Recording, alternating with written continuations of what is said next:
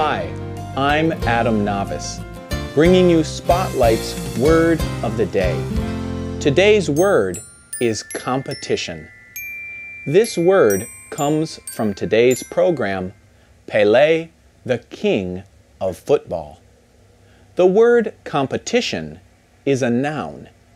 It means an event in which people try to win. Here is competition in a sentence from today's program. People from all over the world were watching this global sporting competition.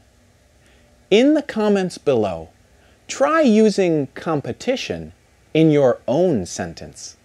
And join us next time for another Spotlight Word of the Day.